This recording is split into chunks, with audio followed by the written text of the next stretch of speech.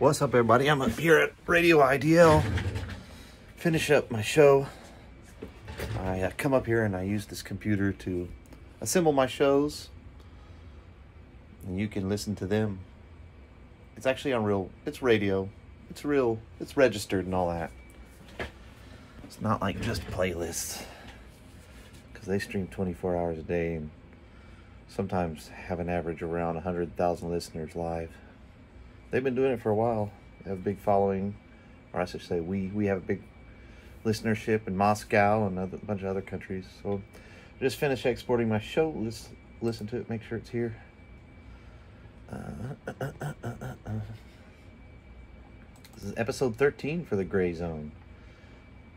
So I uh, am picking up my new laptop, my new Apple MacBook Pro today, and I'm excited about that can't tell.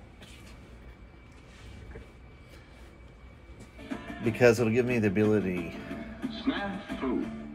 to work seamlessly. Right now, everything gets hitched up all the time. Here it is. You're listening to The Gray Zone with your host, Nathan Gray.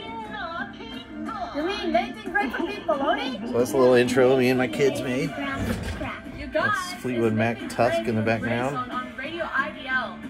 On Radio IDL. And I just click through, make sure everything's there, and that the levels are okay. A little cutie pie.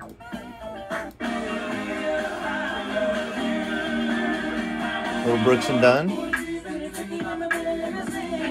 112. Oh yeah, McG. Radio IDL. Oh, Allman Brothers. Wait, there's my little voiceover. Okay, that was there. Sounds fine. Nothing's blown out. Little Fugees. Oh my gosh. Freddie Fender. And then we get into my Brazilian block. It's a little soft. Radio IDL. That's not bad.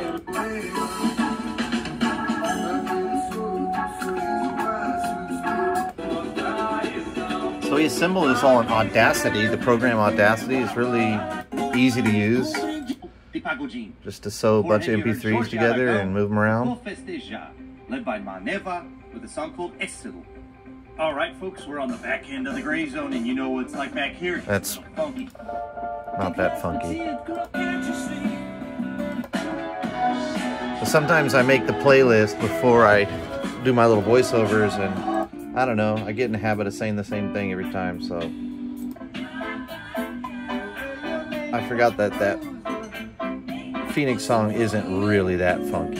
but it's good. It's groovy. But this is.